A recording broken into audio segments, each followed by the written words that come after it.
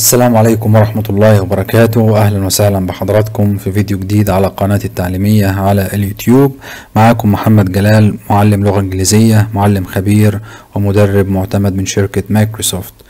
اليوم بإذن الله بنبدأ سلسلة شروحات خاصة بالتعليم عن بعد للعام الأكاديمي 2021 وبنتناول فيها جميع المهام المطلوبة من المعلم خلال الفترة القادمة.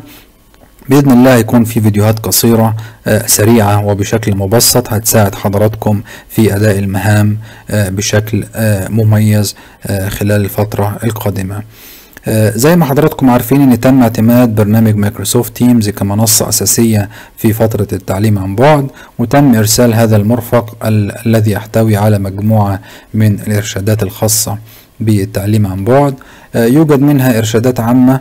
زي ما قلت لحضراتكم إن تم اعتماد التيمز وفيها عدد الحصص والفترة الزمنية والمدة الزمنية للدروس المصورة.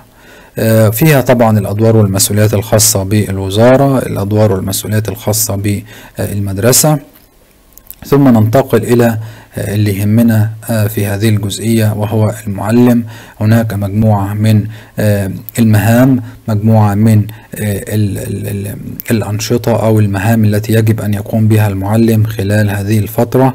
وطبعا بتتم من خلال الجدول المدرسي المعد من قبل المدرسة.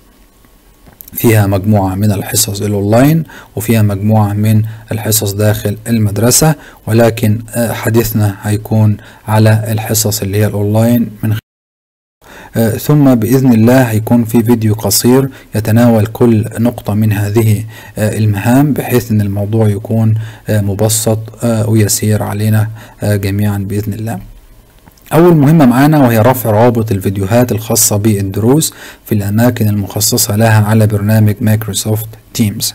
العام الماضي كنا بنرفع الفيديوهات بشكل مباشر جدا من خلال نسخ الرابط أو عمل تبويب داخل ال posts داخل ال team نفسه. ولكن هذا العام الموضوع هيكون مختلف شوية. نحن هيتم عمل قنوات داخل كل team أو داخل كل صف افتراضي. وسيتم إضافة هذه الروابط على هيئة تبويب أو tab داخل القناة المخصصة للدرس. النقطة الثانية إعداد نماذج التقييمات اليومية والأسبوعية وهذه أيضا نقطة تم يعني مختلفة عن العام الماضي لأن العام الماضي كانت التقييمات اليومية والأسبوعية بنحصل عليها جاهزة ولكن هذا العام سيقوم المعلم بإعدادها بنفسه باستخدام برنامج Microsoft Teams Microsoft Forms ثم يقوم بعمل الاختبارات والواجبات في Microsoft Teams من خلال استرداد هذه الاختبارات.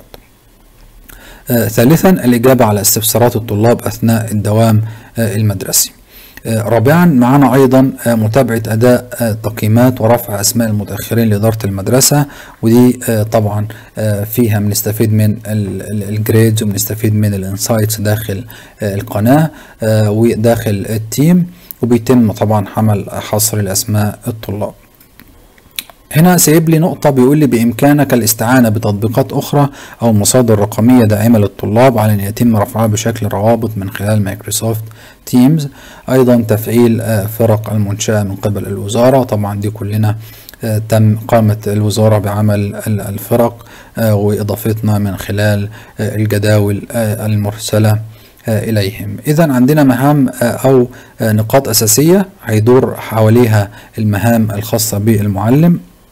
خلال الفترة القادمة رابط الفيديوهات الدروس المصورة إعداد التقييمات وعمل مناقشات للطلاب عن الدرس. بإذن الله هنتناول كافة هذه النقاط في فيديوهات مختصرة بحيث أن هي تساعدنا على أداء هذه المهام بشكل مميز بإذن الله. يا ريت تشتركوا في القناة وتفعلوا جرس التنبيهات علشان يوصل لحضراتكم الفيديوهات أول بأول وإن شاء الله آه هيكون في الوصف لهذا الفيديو آه باقي الفيديوهات التي بتتناول المهام بإذن الله. شكرا جدا لحضراتكم. أتمنى مشاركة الفيديو علشان يوصل آه لأكبر عدد من المعلمين لكي يستفيدوا منه بإذن الله. شكرا جدا لحضراتكم. والسلام عليكم ورحمة الله.